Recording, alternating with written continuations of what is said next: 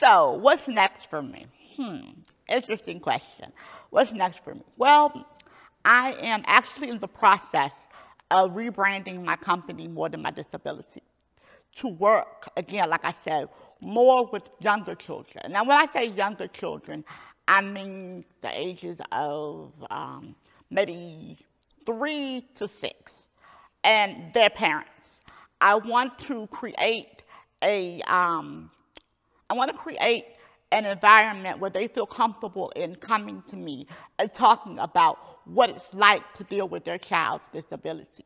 How can I help them? How can I provide resources? And I want to do this in a community that is not touched.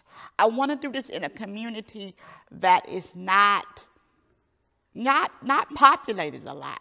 Like we see these different organizations in, you know, the prevalent community, the community, the affluent community, the communities that have the money, and so on and so forth. But we do not see a lot of these programs in what you would consider your rural communities or what you would consider your urban communities. And these communities need resources and help just like any other community.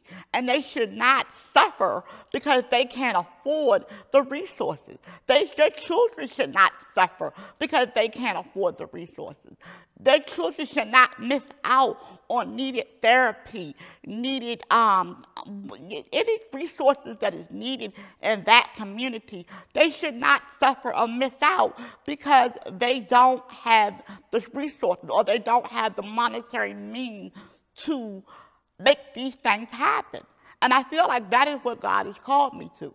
God did not call me to this business to make money. Of course, He told me if I do it His way, I'm always going to be blessed. The Lord told me in the beginning of this, if I do it His way, I'm always going to be blessed. So this, this business is about, it's not about making money for me, but it's about blessing the community. It's about blessing His people. It's about doing what I can do to give back to His people. And that is what more than my disability is about. It's about blessing God's people and showing them there are, there's another way. You don't have to have an affluent amount of money.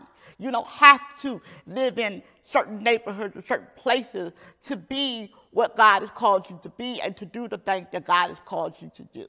I want to use myself as an example. I want other children to see me as a person with a disability and say, wow, she has a disability and she did it. So I have a disability and I can be whatever I want to be.